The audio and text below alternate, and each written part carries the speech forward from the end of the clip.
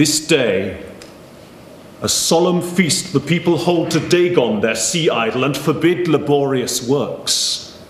Unwillingly this rest their superstition yields me.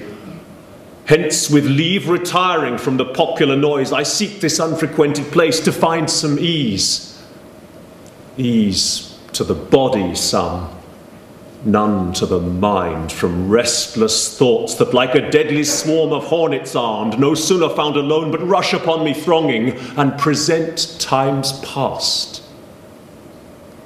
What once I was, and what am now.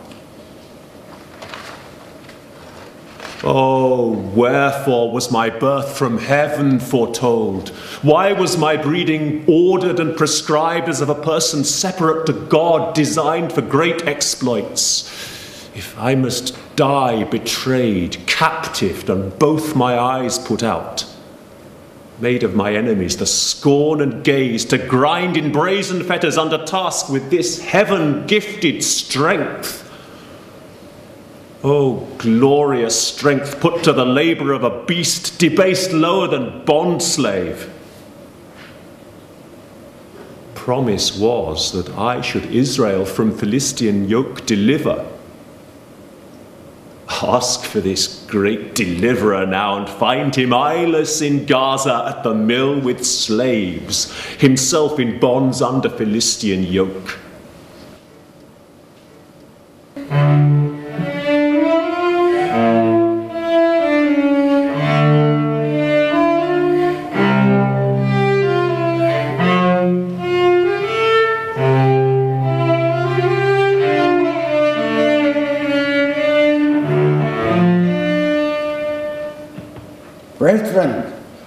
And men of Dan, for such ye seem, though in this uncouth place. Say, if my son be here, as signal now in low, dejected state, as erst in highest, behold him where he lies. Oh, miserable change! Is this the man?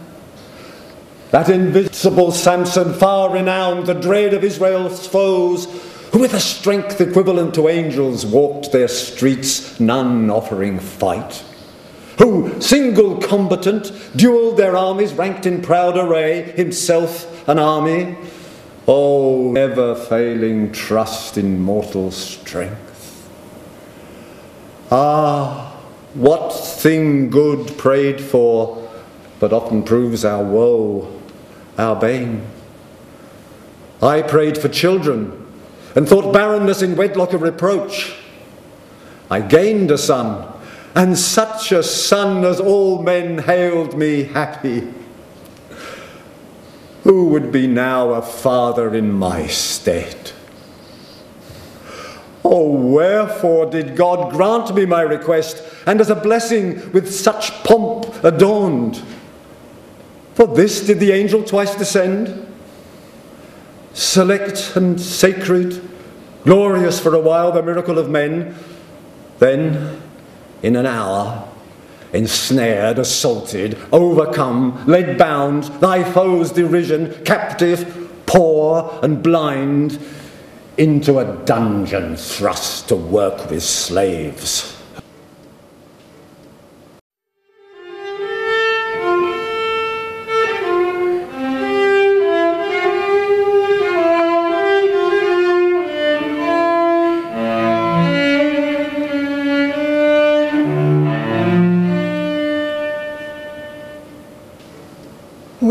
Doubtful feet and wavering resolution I came, still dreading thy displeasure, Samson, which to have merited without excuse I cannot but acknowledge. But conjugal affection, prevailing over fear and timorous doubt, hath led me on, desirous to behold once more thy face and know of thy estate if aught in my ability may serve to lighten what thou sufferest, and though late, yet in some part to recompense my rash, but more unfortunate misdeed?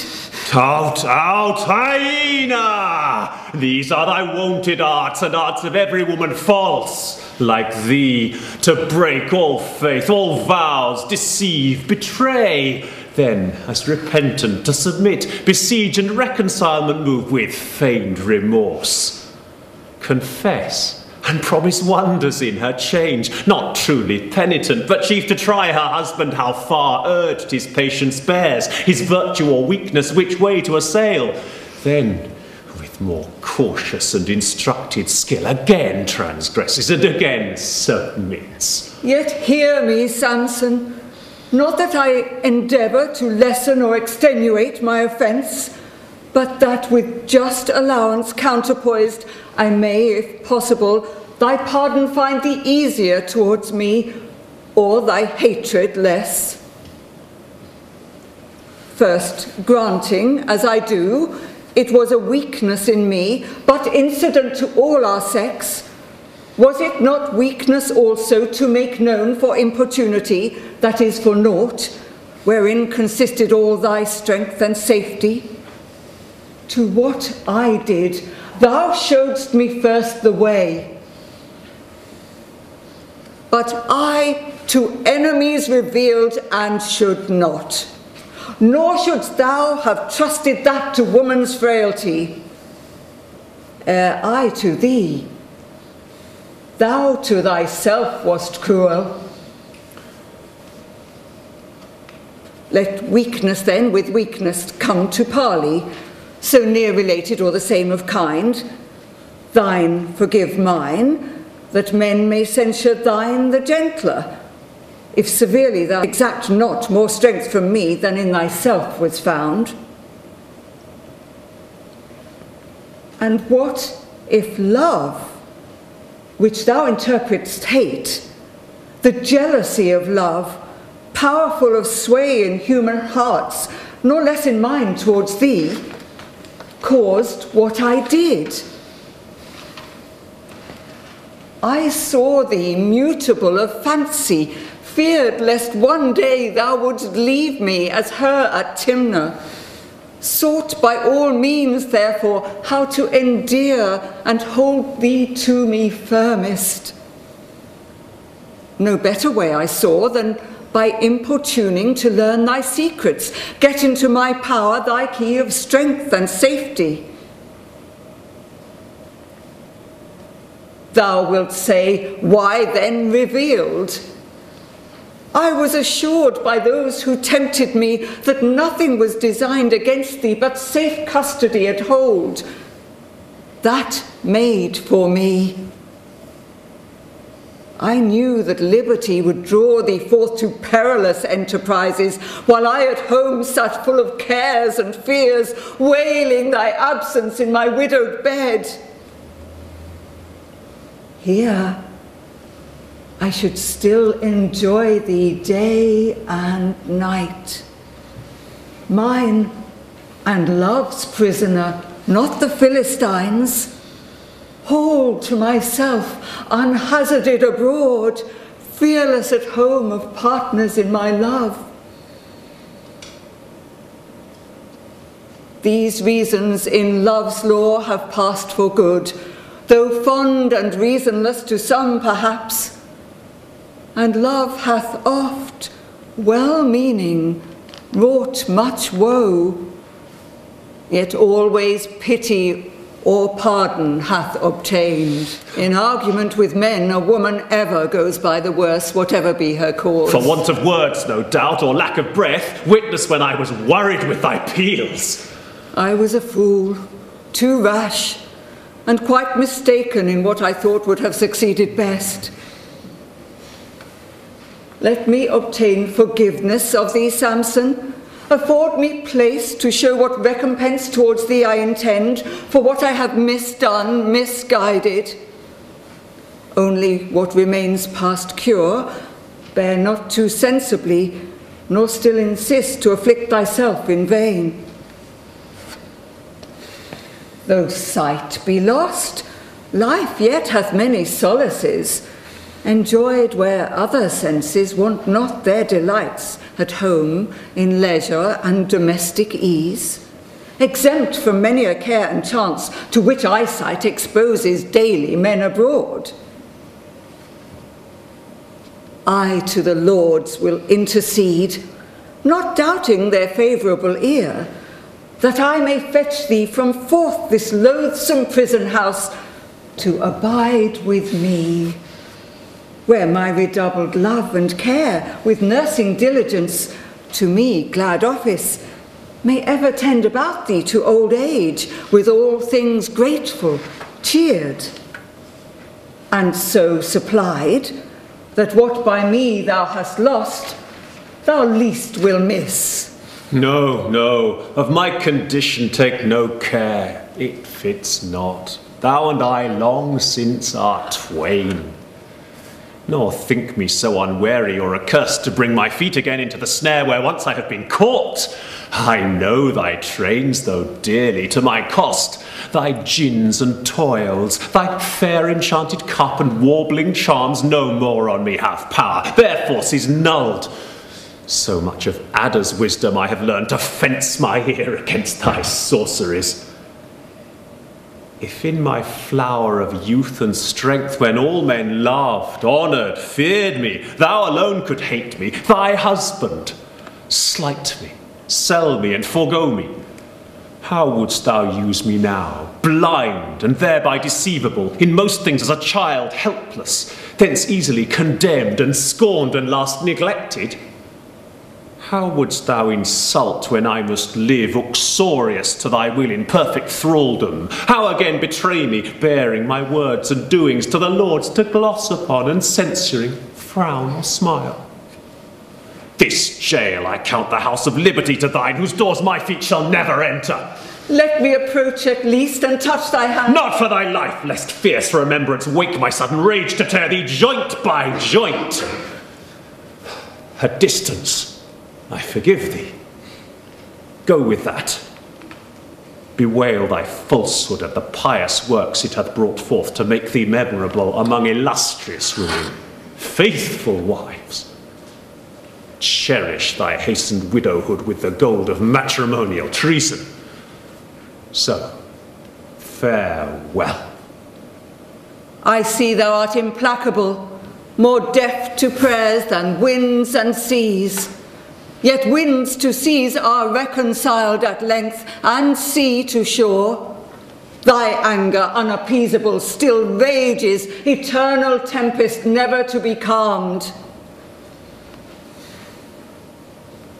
Why do I humble thus myself, and suing for peace, reap nothing but repulse and hate, bid go with evil omen, and the brand of infamy upon my name denounced? But in my country, where I most desire, in Ekron, Gaza, Asdod, and in Gath. I shall be named among the famousest of women, sung at solemn festivals, living and dead recorded, who, to save her country from a fierce destroyer, chose above the faith of wedlock bands my tomb with odours visited and annual flowers, not less renowned than in Mount Ephraim, Jael, who with inhospitable guile smote Sisera, sleeping through the temples nailed. Nor shall I count it heinous to enjoy the public marks of honour and reward conferred upon me for the piety which to my country I was judged to have shown. At this, whoever envies or repines, I leave him to his lot, and like my own.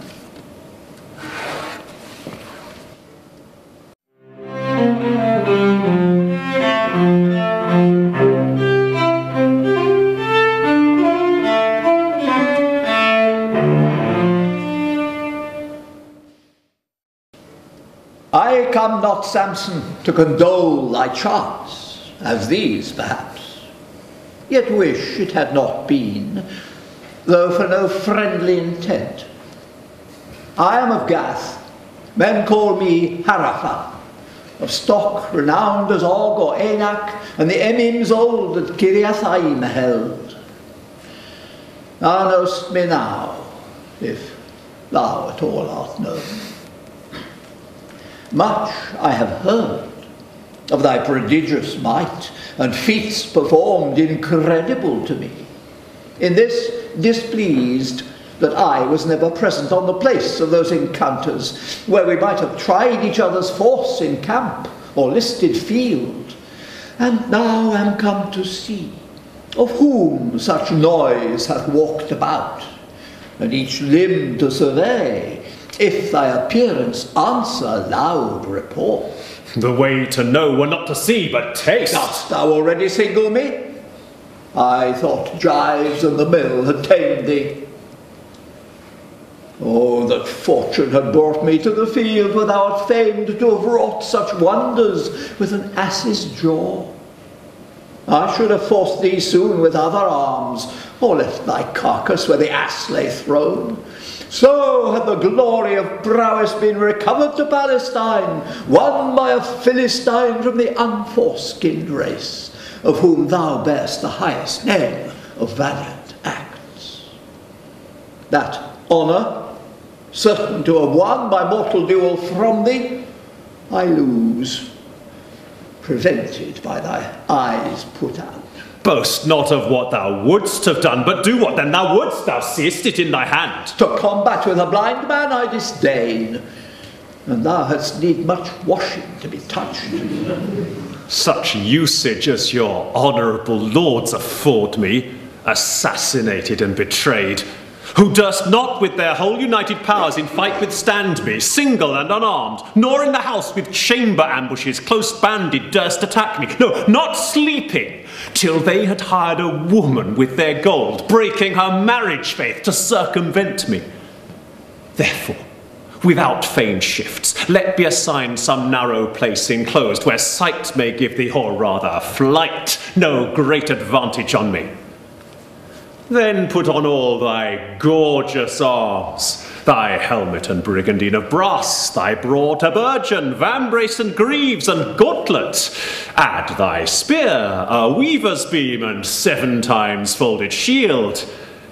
I, only with an oaken staff, will meet thee and raise such outcries on thy clattered iron, which long shall not withhold me from thy head, that in a little time, while breath remains thee, thou oft shalt wish thyself at Gath to boast again in safety what thou wouldst have done to Samson, but shall never see Gath more. Thou dost not thus disparage glorious arms, which greatest heroes have in battle worn, their ornament and safety, had not spells black enchantments, some magician's art arm thee or charm thee strong, which thou from heaven feign'st that thy birth was given thee in thy hair, where strength can least abide, though all thy hairs were bristles, ranged like those that ridge the back of chaffed wild boars or ruffled porcupines. I know no spells, use no forbidden arts.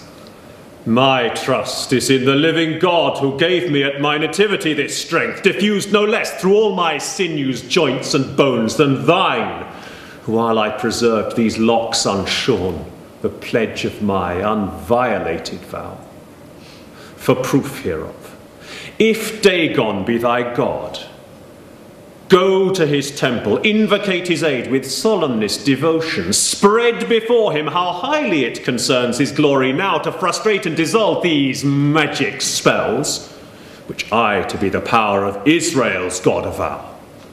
And challenge Dagon to the test, offering to combat thee his champion bold with the utmost of his Godhead seconded. Then thou shalt see, or rather to thy sorrow soon feel, whose God is strongest, thine or mine. I once again defy thee to the trial of mortal fight by combat to decide whose God is God, thine or whom I with Israel's sons adore. Fair honour that thou dost thy God, in trusting he will accept thee to defend his cause? A murderer, a revolter, and a robber? Tut, doughty giant, how dost thou prove me these? Is not thy nation subject to our lords? My nation was subjected to your lords. It was the force of conquest. Force with force is well ejected when the conquered can. These shifts refuted, answer thy appellant, though by his blindness maimed for high attempts, who now defies thee thrice to single fight as a petty enterprise of small in force. With thee, a man condemned, a slave enrolled, due by the law to capital punishment? To fight with thee no man of arms will deign. Camest thou for this, vain boaster, to survey me, to descant on my strength and give thy verdict? Come nearer. Part not hence so slight informed, but take good heed my hand survey not thee. Oh, Beelzebub! Can my ears unused hear these dishonours and not render death? No man withholds thee. Nothing from thy hand fear I incurable. Bring up thy van. My heels are fettered, but my fist is free. This insolence other kind of answer fits. Go, baffled coward, lest I run upon thee, though in these chains, bulk without spirit vast, and with one buffet lay thy structure low, or swing thee in the air, then dash thee down to the hazard of thy brains and shattered sides. By Ashtaroth!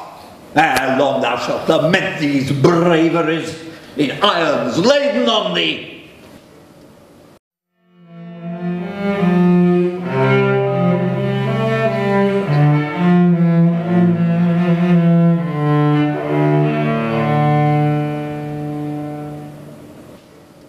Be of good courage. I begin to feel some rousing motions in me which dispose to something extraordinary my thoughts. I with this messenger will go along. Nothing to do, be sure, that may dishonour our law or stain my vow of Nazarite. If there be aught of presage in the mind, this day will be remarkable in my life by some great act or of my days the last. In time thou hast resolved, the man returns. Samson, this second message from our lords to thee I am bid say, Art thou our slave, our captive, at the public mill our drudge, and darest thou at our sending and command dispute thy coming? Come without delay, or we shall find such engines to assail and hamper thee as thou shalt come of force though thou art firmlier fastened than a rock. I could be well content to try their art, which to no few of them would prove pernicious, yet, knowing their advantages too many, because they shall not trail me through their streets like a wild beast, I am content to go. I praise thy resolution. Doff these links. By this compliance thou wilt win the lords to favour, and perhaps to set thee free. Brethren, farewell. Your company along I will not wish, lest it perhaps offend them to see me girt with friends. And how the sight of me as of a common enemy, so dreaded once, may now exasperate them, I know not. Happen what may, of me expect to hear nothing dishonourable, impure, unworthy our God, our law, my nation, or myself. The last of me or no, I cannot warrant.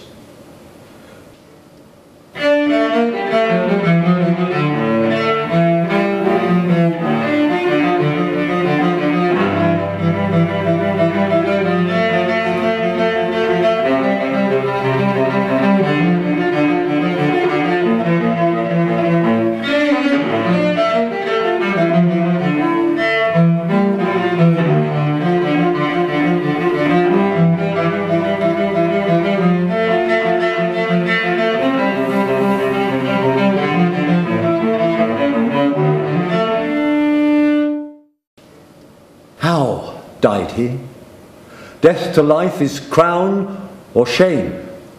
All by him fell, thou sayest. By whom fell he? What glorious hand gave Samson his death's wound? Unwounded of his enemies, he fell.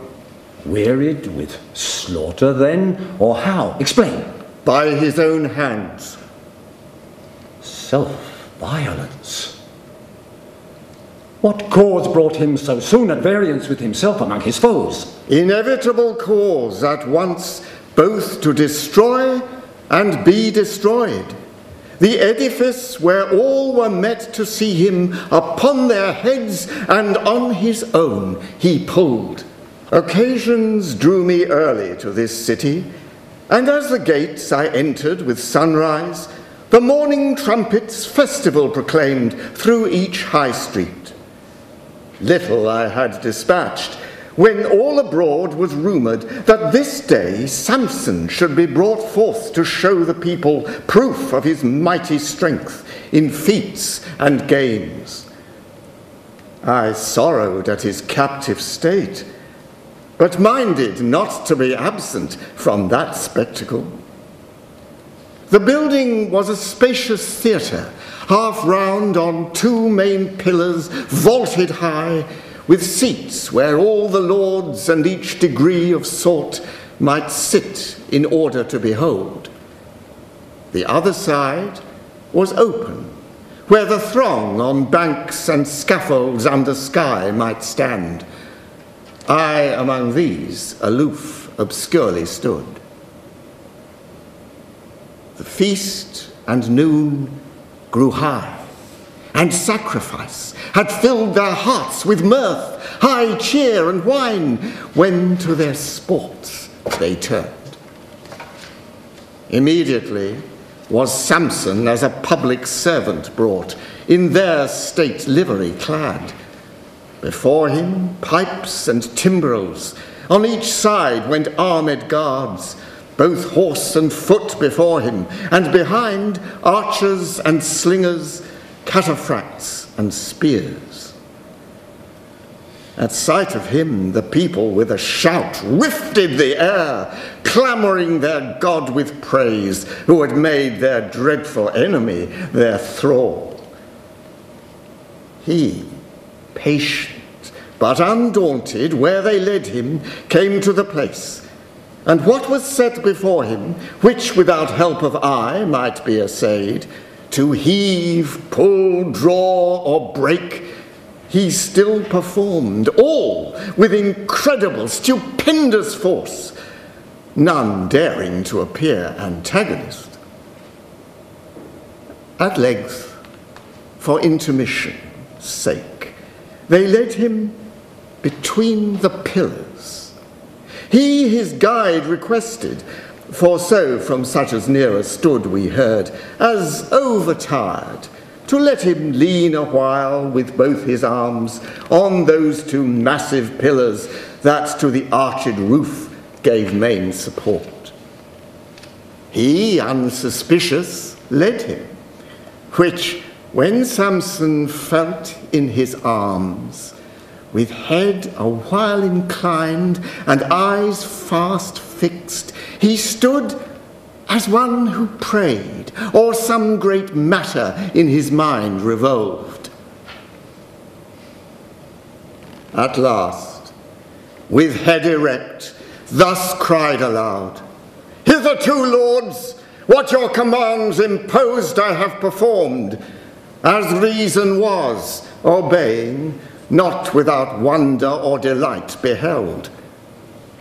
Now, of my own accord, such other trial I mean to show you of my strength, yet greater, as with amaze shall strike all who behold.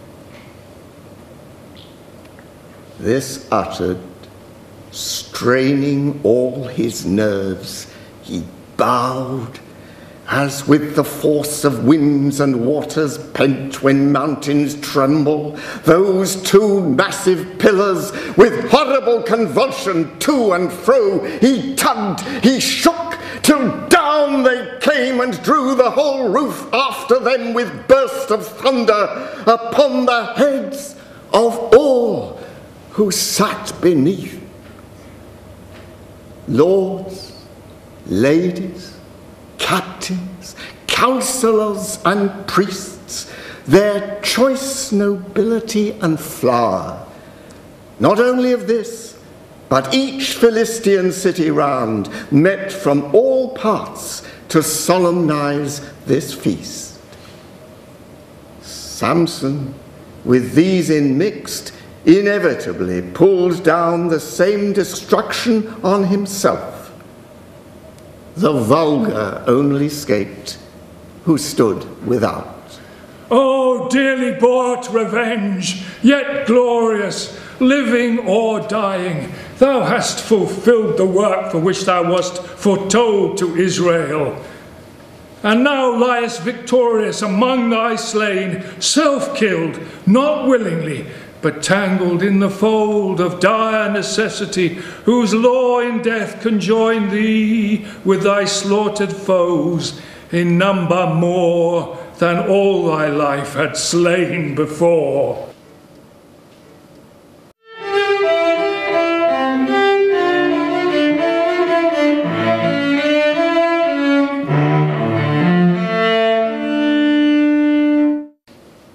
Come, come, no time for lamentation now, nor much more cause.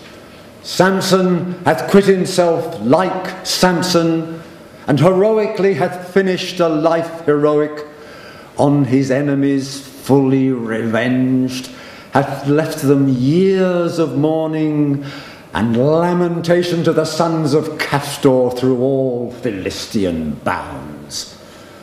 To Israel, honour hath left, and freedom. Let but then find courage to lay hold on this occasion. To himself and father's house, eternal fame, and which is best and happiest yet, all this with God not parted from him as was feared, but favouring and assisting to the end. Nothing is here for tears, nothing to wail or knock the breast, no weakness, no contempt, dispraise or blame, nothing but well and fair and what may quiet us in a death so noble. Let us go find the body where it lies soaked in his enemy's blood and from the stream with lavers pure and cleansing herbs wash off the clotted gore. I, with what speed the while, will send for all my kindred, all my friends, to fetch him hence, and solemnly attend with silent obsequy and funeral train home to his father's house. There will I build him a monument and plant it round with shade of laurel, evergreen, and branching palm, with all his trophies hung and acts enrolled in copious legend or sweet lyric song. Thither shall all the valiant youth resort, and from his memory inflame their breasts to matchless valour and adventures high. All is best though we oft doubt what the unsearchable dispose of highest wisdom brings about. God now, with new acquist of true experience from this great event, his servants hath dismissed. Dismissed with peace and consolation and calm of mind, all passion spent.